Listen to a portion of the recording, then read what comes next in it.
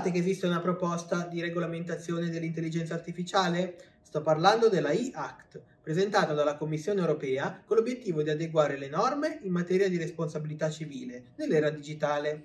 Numerose sono le proposte e gli emendamenti che vengono presentati. Ad esempio, c'è la volontà di definire quali potrebbero essere i benefici, ma anche i rischi, dell'implementazione di soluzioni basate sull'intelligenza artificiale. Inoltre, si vuole stabilire quali siano i requisiti legali nell'adozione di questa tecnologia e delineare chiaramente quali potrebbero essere i risvolti legati al rispetto della privacy. Per approfondire, leggi il nostro articolo sul portale TechLab.